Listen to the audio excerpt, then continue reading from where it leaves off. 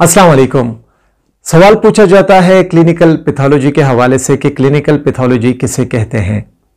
Pathology की बहुत सारी फील्ड्स हैं और पैथोलॉजी में जैसे आप लोग को पता है कि हम डिज़ीज़ के मतलब स्टडी करते हैं, जितनी भी डिज़ीज़ हैं, चाहे वो सिस्टेमिक लेवल पर हों, चाहे वो जनरल लेवल पर हों तो इसे हम पैथोलॉजी कहते हैं। तो पैथोलॉजी की बहुत सारे फील्ड्स हैं क्लिनिकल पैथोलॉजी भी इनमें से एक है। और क्लिनिकल पैथोलॉजी में हम अगर किसी मर्ज की, किसी बीमारी की तशखीस करते हैं तो हम बॉडी फ्लूड्स की बुनियाद पर करते हैं।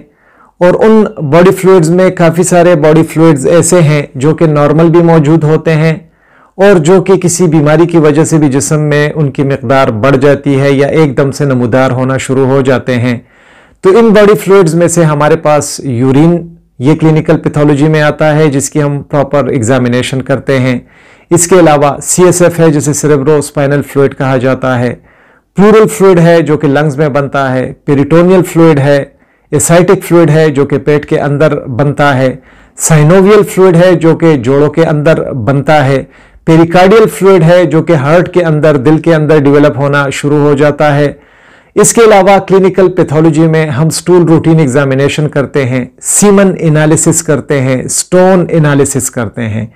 तो इतनी सारी चीज़ों की बुनियाद पर, इतने सारे फ्लूड्स की बुनियाद पर जो हमारे जिसम में ऑलरेडी मौजूद होते हैं, एक नॉर्मल हालत में, या जब कोई बीमारी होती है तो वो पैदा हो जाते हैं और उसकी मकदार बढ़ जाती है।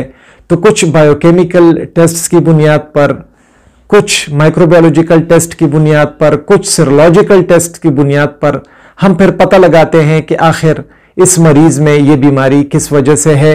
या क्या वजह है इस बीमारी की बीमारी की? तो इसको कहते हैं क्लिनिकल पैथोलॉजी उम्मीद है आप लोगों का डाउट क्लियर हुआ हो। फिर भी अगर आप लोग का कोई क्वेश्चन है तो आप कमेंट सेक्शन में पूछ सकते हैं। अपना ढेर सारा ख्याल रखिएगा। अल्लाह हाफिज़।